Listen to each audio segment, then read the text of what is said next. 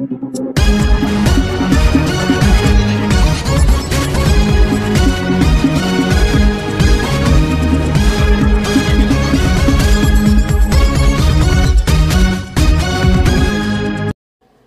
To beaten news ప్రతిక్షణం ప్రజా సమస్యపై పోరాటం.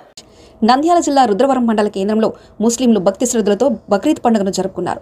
ఈ సందర్భంగా ఈద్గా దగ్గర మత పెద్దలు మాట్లాడుతూ అల్లాహ్ ఆదేశాలను ప్రకారం ఇబ్రాహీం ప్రవక్త తన కుమారుడైన ఇస్మాయిల్ను బలివ్వడానికి తీసుకెళ్ళే సాంప్రదాయాన్ని స్మరిస్తూ ముస్లింలు బక్రీద్ పండుగను ఆచరిస్తారని మత పెద్దలు బోధించారు. ఈ కార్యక్రమంలో అధిక సంఖ్యలో ముస్లిం సోదరులు పాల్గొన్నారు.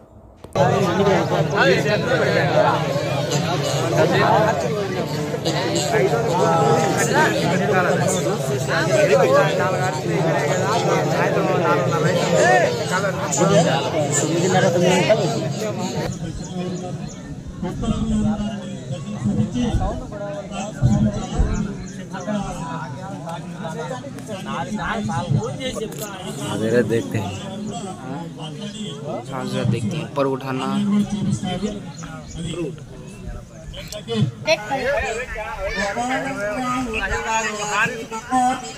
देख।